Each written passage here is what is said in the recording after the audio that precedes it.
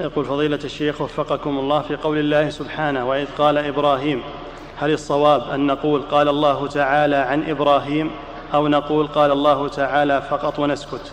كله سواء نعم.